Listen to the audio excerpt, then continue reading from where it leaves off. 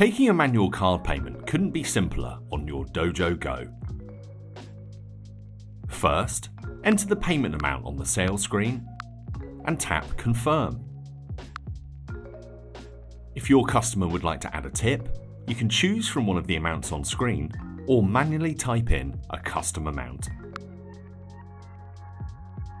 Once you've reached the card payment screen, just tap the three dots in the left hand corner.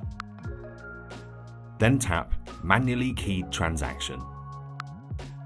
Now you need to ask the cardholder for their card details.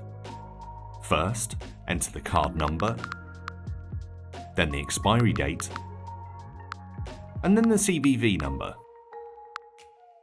Finally, ask your customer for their postcode and first line of address. Then just tap Pay to take the payment. It's as simple as that.